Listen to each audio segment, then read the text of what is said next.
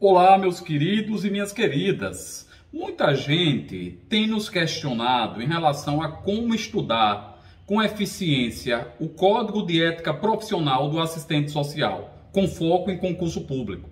As pessoas falam o seguinte: WG é muito complicado estudar o Código de Ética porque este apresenta uma série de deveres, de direitos e proibições que é muito complicado a gente memorizar. E em se tratando de concurso público, fica muito mais difícil porque no dia da prova as bancas fazem uma mistura entre direito, dever, proibição e a gente fica com um nó imenso na cabeça. Eu gostaria aqui de oferecer para você, concurseiro, assistente social, concurseiro, eu gostaria de oferecer uma dica muito prática, muito objetiva em relação a como distinguir direitos e deveres no âmbito do Código de Ética.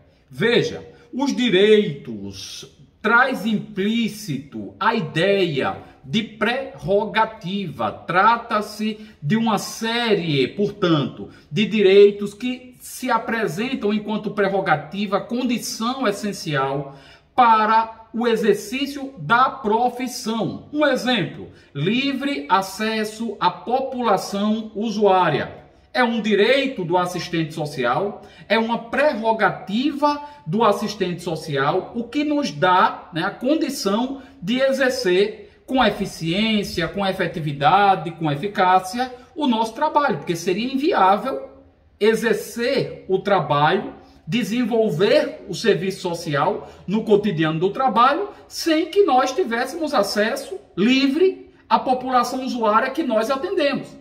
Então é essa a ideia, portanto, do direito. Já o dever traz uma outra conotação. O dever traz a conotação de uma obrigação a cumprir. Então, por exemplo, se o assistente social não cumprir essa obrigação, ele incorre em uma falta ética e muitas vezes, a depender da situação, até mesmo administrativa, o que pressupõe, o que abre espaço para um tipo de penalidade.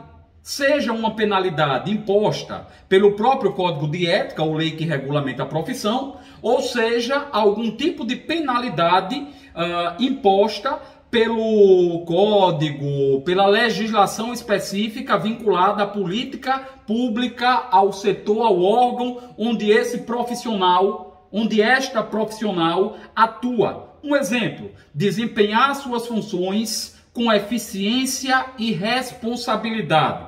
Isso aí fica claro a noção embutida de dever aí, claramente. Se o assistente social ele desenvolve um trabalho de maneira ineficiente e irresponsável, ele com certeza, com certeza irá sofrer algum tipo de penalidade, seja uma penalidade administrativa, seja uma penalidade ética junto ao seu conselho de ordem, dentre outras, a depender da falta, a depender da falha, a depender, eu colocaria aqui ah, do, do crime, né? Do crime, da infração cometida pelo assistente social. Então, essas são as dicas básicas. Ademais, uma outra dica para você se familiarizar com os direitos e deveres presentes no Código de Ética é você fazer sucessivas leituras e releituras associadas à prática da resolução de muita, muitas questões.